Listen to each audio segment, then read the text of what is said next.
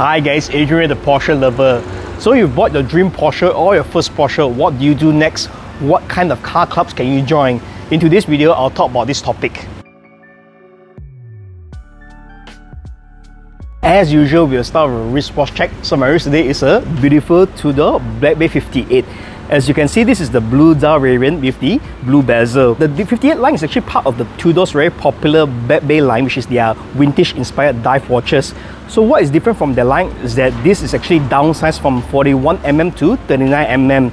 It might seem like a very little downsize, but this actually makes the watch very, very nice to wear because due to its slimmer profile and a slimmer size.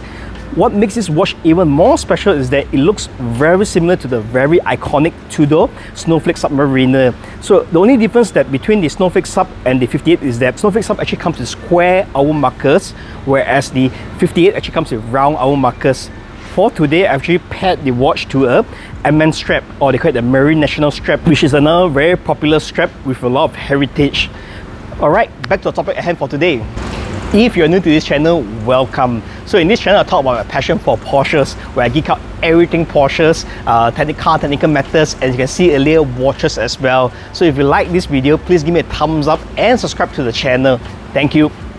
I've always felt the biggest part or the most fun part of experience of owning a car is actually the community itself. I mean, for guys, it's very simple.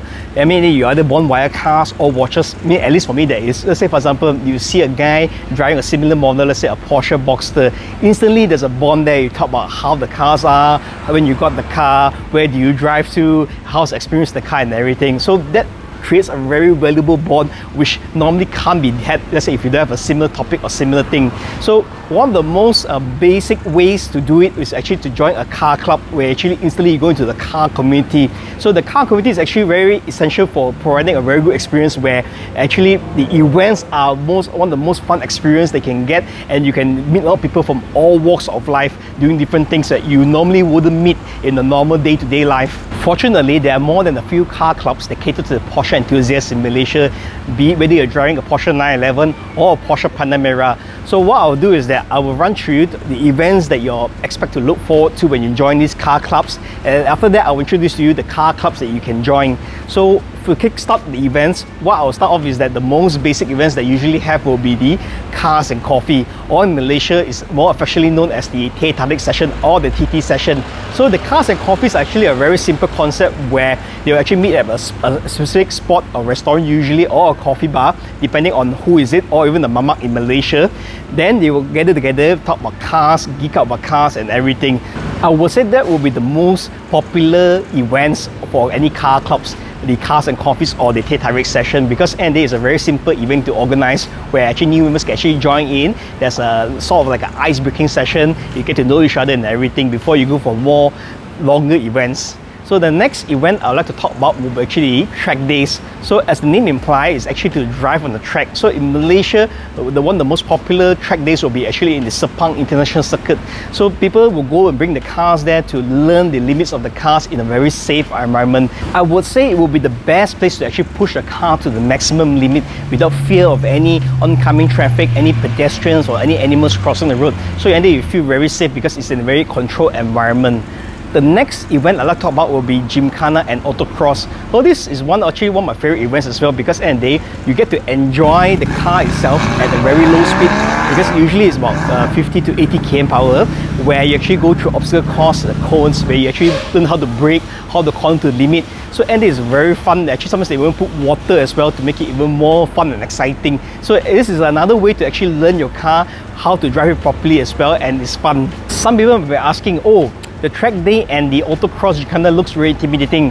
What else can I do? So sometimes the car clubs even organize driving courses. So there is a beginner courses, there is a intermediate, there's even advanced driving course. So in these driving courses, you also get to learn your car's limit, uh, usually by an instructor. They tell you how to do it. So let's say, for example, they teach you how to uh, brake the car without uh, activating ABS, how you to steer in case of emergency, and how to lose control of the car. Because sometimes, a lot of people know how to drive fast, that's true, but let's say if you lose control of the car, how do you even control the car? Because as you know, the Porsches, especially the two doors, the uh, 911 or the Cayman Boxster are actually rear engine or mid engine. So those cars actually handle very differently compared to your usual sedans with your FR, the front engine uh, rear wheel driven, or even the FF, the front wheel drive cars. So it's very different feeling. So these courses will teach you how to handle the car when you lose control of the car. And the last event, which is also my favorite events, will be the drives itself. So we're talking about drives, there's so many types of drives. So, and they, let's say the most basic ones will be the breakfast drive. So it's an upgrade of cars and coffee where you actually go to drive somewhere to breakfast. So the most popular spot in Malaysia, of course, will be good drive to Genting. So you usually take the Ulu Yam route and go to Genting on the weekends for your morning breakfast. So once you've done the, the breakfast drive already, you will upgrade to a longer drive, maybe an interstate drive where you actually drive about 300 to 500 km. Then once you're done that already, some of the car clubs also have this thing called the DOTY Drive of the Year. So they drive the year were actually going towards the whole Malaysia. They will actually drive a couple thousand km and go around Malaysia to explore Malaysia. And then of course the piece de resistance will be to drive overseas. So in Malaysia, I mean, driving to Singapore, not really a fun thing, no offense to Singaporeans, but usually most people will actually drive to Thailand. So Thailand will be the best place to actually do, take a drive for longer. Usually it's a four days or five days trip where you actually experience Thailand itself. So let's say if you're more interested, you can actually go to the north of Thailand where you go to actually Mae Hong Son, where you can actually experience a thousand corners. As you can tell, I'm most excited about drives because at the, the drives are what I would say for me the most fun experience of joining a car club itself. Alright, so let's move on to the car clubs and see what car clubs can you join in Malaysia. Let's say if you have a Porsche. The only official and main Porsche car club in Malaysia will be PCM, Porsche Club Malaysia.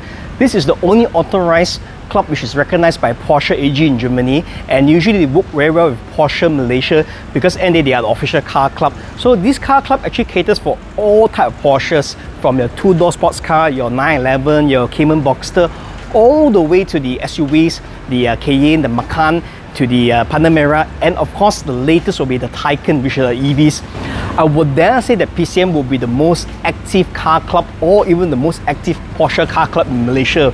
Why I say that is because pre-pandemic, every single weekend they will have at least one event. So you can imagine every weekend they have either cars and coffees, they have drives, uh, sometimes they even have badminton matches, and of course they will have the DOTY Drive of the Year. So the last DOTY was actually back in 2019 where it was actually they drove the whole Malaysia. They went up to the north, to the south, even visited the RW Museum in Johor as well. So you can imagine it's so much fun and to join these car clubs to go for these drives and events. If you like my content so far, please give me a thumbs up and a sub to the channel will be highly appreciated. Thank you.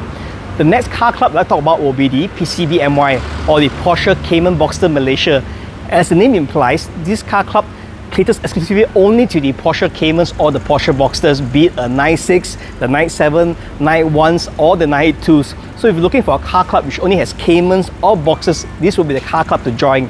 So like before PCM, they actually have a lot of activities as well. So they actually they have the breakfast drives, they have the interstate drives, the 300 km drives. They also have the drive of the year, which is the DOTY. Another two more only Porsche car clubs will be the Porsche Drivers Group and the Porsche Owners Group Malaysia.